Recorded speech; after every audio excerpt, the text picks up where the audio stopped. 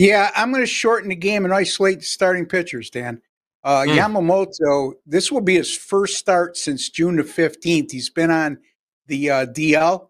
Uh, he did make two rehab starts at Oklahoma City. Didn't fare very well in those two rehab starts. A 6.75 ERA in just four innings pitched. Um, and also, he's been excellent in 14 starts this year, which is considered his rookie year, even though he's up there in age because he came over from uh, Asia. And uh, but you know, with this long layoff and the shaky starts in rehab at AAA, I'm not real confident with Yamamoto in this spot.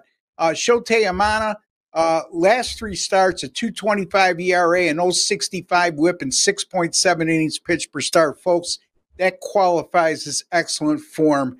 He's made one start versus the Dodgers this year. That came way back on April the 7th. He pitched four innings of scoreless baseball, and the Cubs are 20 and 6 with Imanaga on the mound this year. And that also includes nine and three on the road in games that he's started. Uh, the Cubs coming off a 10 to 4 win, as Dan alluded to last night at Dodger Stadium. And they've now scored six runs or more in nine of their last 15 games.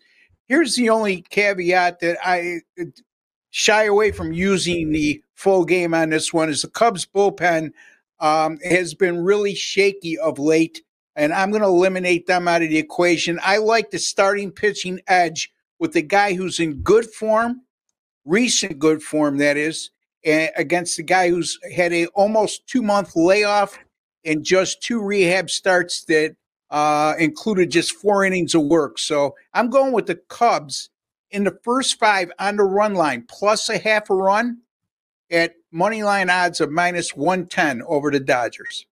$5 play on the Phillies uh, Rays game tonight. Also got another mm. uh, pick in Major League Baseball as well. Uh, folks, keep an eye on my 5% top plays. Cashed another one on Sunday in the NFL.